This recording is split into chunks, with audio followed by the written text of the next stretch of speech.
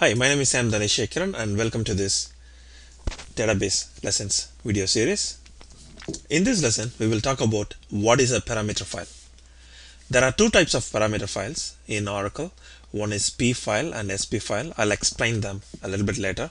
But then, why do we need a parameter file? During the startup of an instance, a database instance has to read a parameter file first so that it can set up the environment.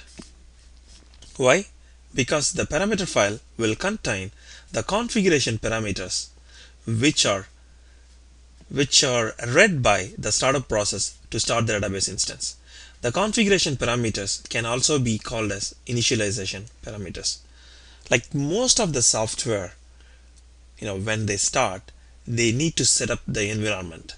To do that, they need to read or they uh, need to be told by some sort of parameter file that what kind of memory it can use and what kind of uh, settings it can use for uh, various other parameters.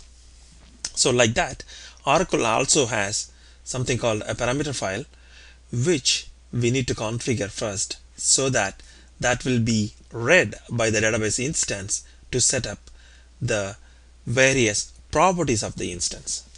Okay, so there are two types of parameter files. One is P file and the next one is SP file. Okay.